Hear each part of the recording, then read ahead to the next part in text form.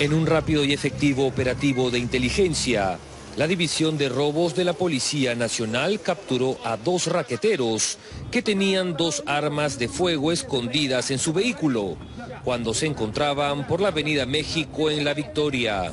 Personal de la División de Investigación de Robos capturó a dos integrantes de una banda criminal a bordo de un vehículo minivan con dos armas de fuego totalmente abastecidas. Ellos pretendían asaltar un grifo, sin embargo la labor policial los capturó antes que traten de cometer este evento criminal. Los detenidos fueron identificados como Roberto Bernardo Castro Vallejos, de 50 años, alias Veloz, y Jesús Guerrero Cáceres, de 45 años, alias Orejas. Ambos, de nacionalidad peruana, serían miembros de la banda criminal Los Bravos del Sur. Roberto Castro dijo que tanto la camioneta como la minivan no les pertenecía.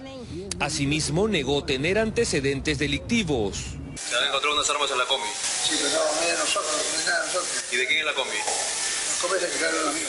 ¿Tienes antecedentes? No, pero Los dos registran antecedentes por hurto agravado eh, y robo agravado. ¿Qué quiere decir? Que han hecho de esta actividad ilícita su modo de vida.